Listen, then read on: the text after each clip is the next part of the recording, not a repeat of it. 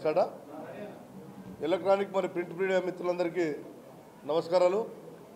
ఈరోజు మునుగోడు ప్రజానికానికి అదేవిధంగా ప్రత్యేకంగా మునుగోడు నియోజకవర్గంలోని ఆర్టీసీ కార్మిక బంధుమిత్రులందరికీ మనవి చేసేదంటే మరి మునుగోడు ఎన్నికల నేపథ్యంలో కొన్ని సంఘాలు మరి ముఖ్యమంత్రి గారిని కలిసామని చెప్పి హరీష్ గారిని కేటీఆర్ గారు కలిసామని చెప్పి కార్మికులకు రావాల్సిన న్యాయమైన డిమాండ్లను పరిష్కరిస్తున్నాం రేపు మాపో వస్తుందని చెప్పి కార్మికులను మభ్యపెట్టి ఎన్నికల తర్వాత ఎన్నికల కోడ్ ఉంది ఎన్నికల తర్వాత అన్ని పనులు అమలవుతాయని చెప్పి కార్మికులను మభ్యపెట్టే ప్రయత్నాలు చేస్తున్నారు.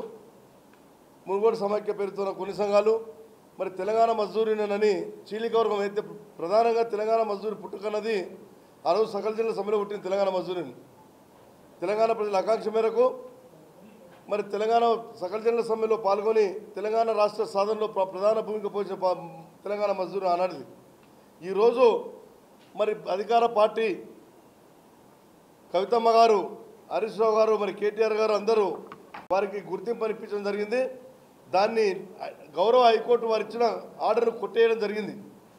స్టేటస్ కో ఇవ్వడం జరిగింది. అయినా వారు తెలంగాణ మజ్దూరి పేరు చెప్పి నిన్న ఇక్కడ అంగడిపేటలో మీటింగ్ పెట్టి తెలంగాణ మజ్దూర్ యూనియన్ టీఆర్ఎస్కు మద్దతుని ప్రకటించారు దాన్ని మేము ఖండిస్తున్నాం. తెలంగాణ మజ్దూరి పేరును వాడితే ఇక ముందు భవిష్యత్తులో జరగబోయే న్యాయమైన సమస్యల్లో న్యాయ న్యాయంగా న్యాయపరమైన పోరాటంలో మీరు ఇబ్బంది పడాల్సి చెప్తున్న వాళ్ళకు ఎటువంటి పరిస్థితుల్లో తెలంగాణ మజూరు పేరు వాడుకోనికి వీల్లేదు. ఈ తెలంగాణ మజ్దూర్ అనేది ఒక త్యాగాల పునాదమైనప్పుడు నేను యూనియన్ సకల జన సమ్మెలో.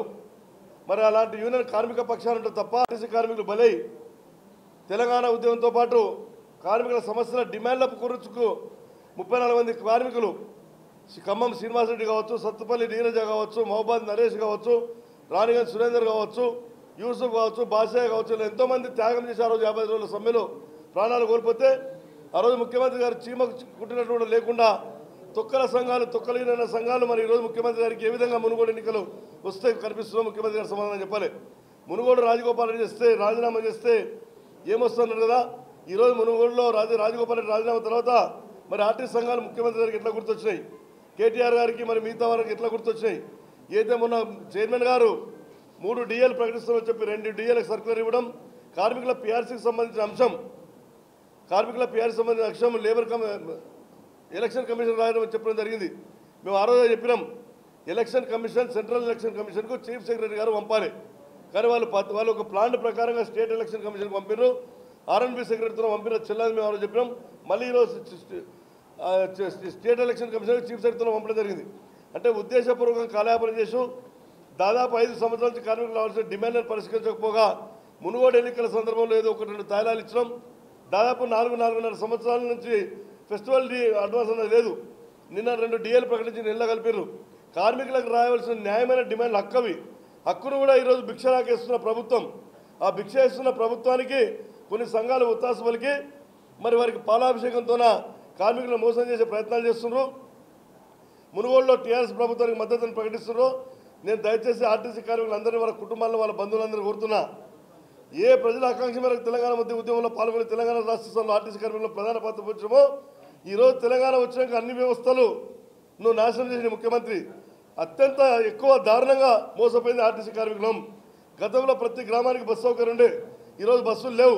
గతంలో దాదాపు తొమ్మిది వేల ఆరు వందల ప్రైవే ఆర్టీసీ బస్సులు ఉండే. ఈరోజు కేవలం ఐదు వేల బస్సులు కుదించబడ్డాయి. మిగతావన్నీ ప్రైవేట్ పరమైనవి.